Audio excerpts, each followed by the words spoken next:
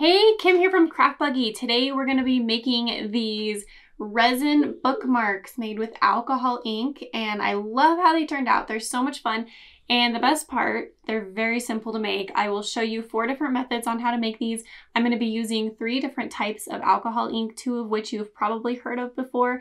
One of them you might not have, but um, I ordered it on Amazon. I wanted to see how it worked and turned out, and I'm actually really pleased with it. So I will show you just how easy this is to do. For this project, you're gonna need a resin of some kind. So I'm gonna be using the Pro Marine brand today, but another good brand that I really love is this amazing clear cast resin. It just mixes very nicely and I've noticed very few air bubbles, so that's a perk. I do love this brand. I'll post the link below for both of those. And then you're gonna need supplies for mixing. So you know I love my silicone resin uh, or my uh, silicone measuring cup and then a stir stick of some kind and then gloves and then a respirator just so that you're not inhaling all those vapors and um, toxic fumes. And then if you're having any trouble with or questions with how to mix resin properly, I put together a video for you. I will link that below. Hopefully that'll help you out a little bit. And then the fun part of this project is the alcohol ink. So I'm going to be using three different brands. The two main brands that you've probably heard of are this Pinata brand and then the Tim Holtz. Um, and then this other brand I found on Amazon. It just had a lot of really fun, vibrant colors. It's called Decor Rom. And it came in a pack of like 18 and it was pretty inexpensive. And I do love how they all work together. So I'm going to be using all three of those. Um, one thing to note is this um, Tim Holtz, the Pearl. This one is more of an iridescent color. And so um, I just wanted to show you what that looks like with everything. It just kind of gives it a really subtle shimmer. So I really love that. And then I'm going to do one bookmark where I'm not using any white color at all. And then a couple others I'm going to be using the white. I just feel like the white helps everything sink, the, the color sink, and then it also just helps bring everything out and makes it a little bit more vibrant. So I will show you different techniques associated with that, and I'll just show you just how easy this is. I've already gone ahead and mixed um, 25 milliliters of side A and side B into the silicone cup. I stirred it and mixed it completely for about four and a half, five minutes. And now I'm just gonna pour it into these molds here.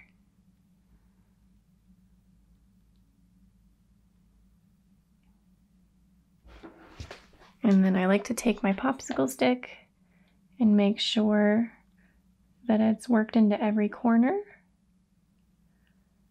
and around the back behind that little knob where the tassel goes.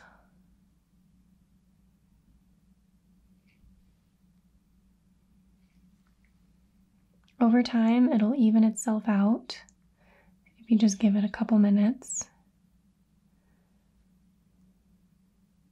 But that's what you're going to do on every single one.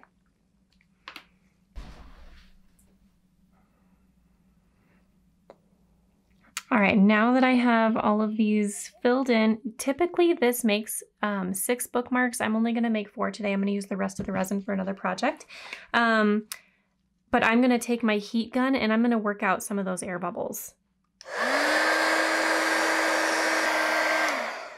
All right, now that a lot of those air bubbles are worked out, what I'm gonna do is I'm gonna go ahead and I'm gonna show you a couple different methods. So we're doing rainbow. So I'm gonna start with red. I'm gonna do orange. You can add as little or as much as you want.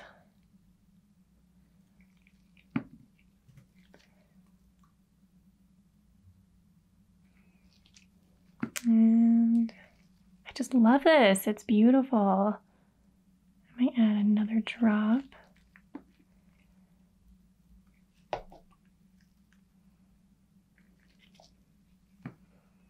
And I'm gonna add a little bit of this flamingo. I don't know if that zoomed in. There we go.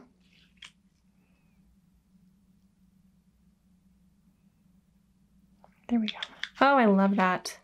I think I might add a little bit more red.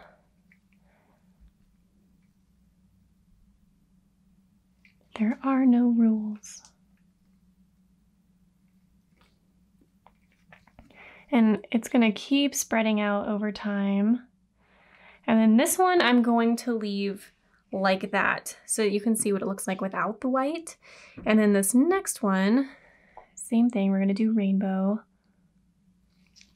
I'm going to do more red.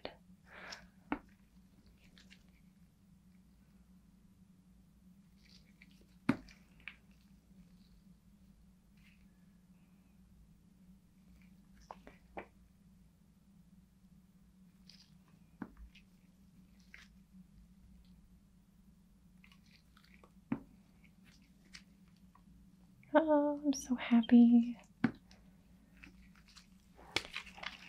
little bit of this flamingo. And then I'm going to add some white from the Pinata brand to show you what kind of effects this has.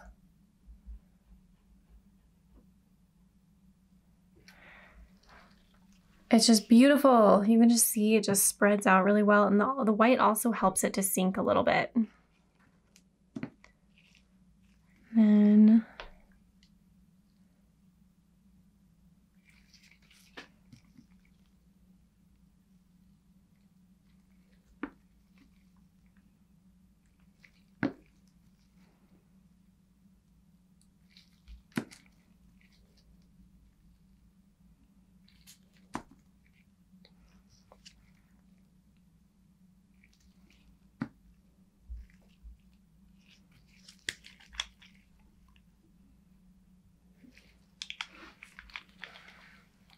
And with this one, I'm going to add the white, but I'm also going to add this pearl on top of it. This is a Tim Holtz. and so you have to shake this one beforehand. So I'm to go ahead and add the white real quick.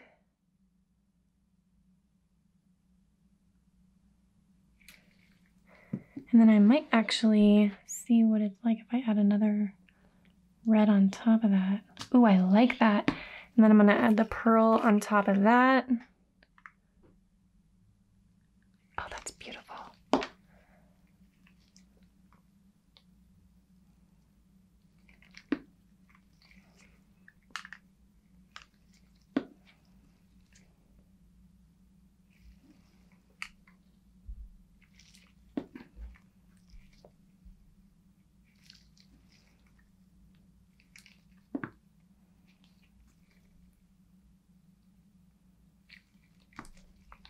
You can see it just continues to spread. I added a little too much pearl there, but that's okay. I guess you can never have too much shimmer.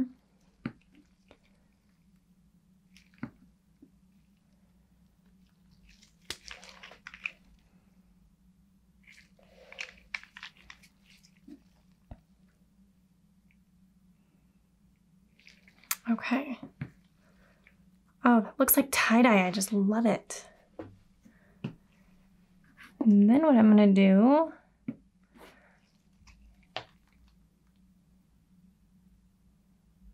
I'm going to add the white immediately now.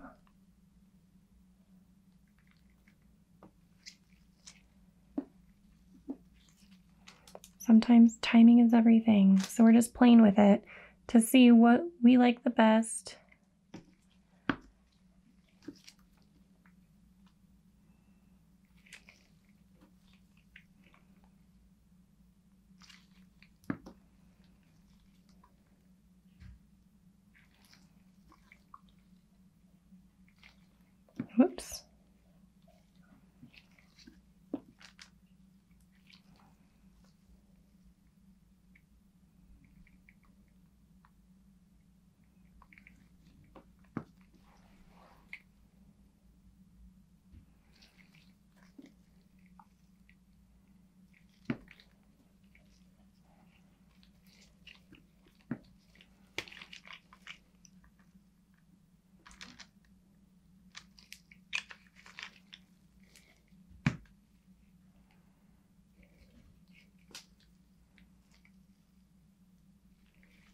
Okay. So now we have everything everything done here. So what I'm going to do now is I'm going to show you what it looks like to just kind of swirl it around a little bit. So I think I might do, I might do this one.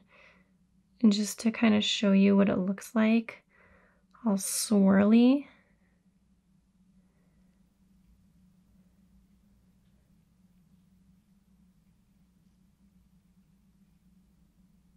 Love it.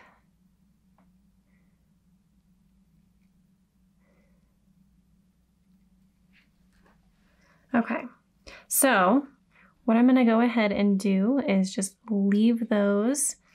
Oh, they look so pretty. I'm just gonna let those sit overnight and let's see what they look like in the morning because all we're gonna have to do after that is add a top coat just to kind of make everything extra shiny and pretty. But you can see how easy alcohol alcohol ink is. I just love it. Now that it has been, I actually have waited about 24 hours. And so now I'm just gonna put the final top coat on. You really don't have to, um, but I like to do that just because it gives it, I just like the appearance a little bit more. It makes it look a little bit more dome-like. So I already mixed um, 30 milliliters total. So 15 milliliters um, side A and side B and I'm gonna go ahead and pour it into onto the top here.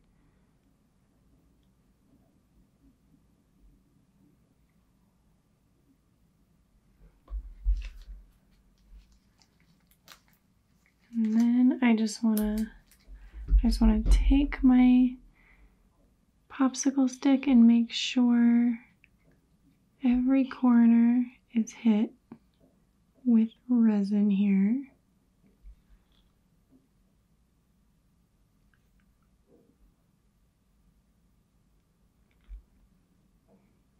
usually does a pretty good job leveling itself out, but it's nice to just kind of help it out a little bit.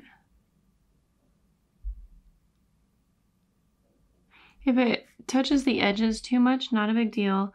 You can always sand that very lightly at the end, and I'll show you how to do that.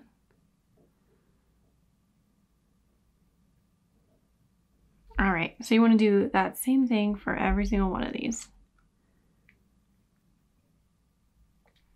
Now that we have all of our red, all of our top coat on there, what I'm gonna do is I'm gonna hit, I'm gonna hit this with a little bit of heat. Um, this will just help pop the bubbles that have already come to the surface and it just kind of helps level out that resin.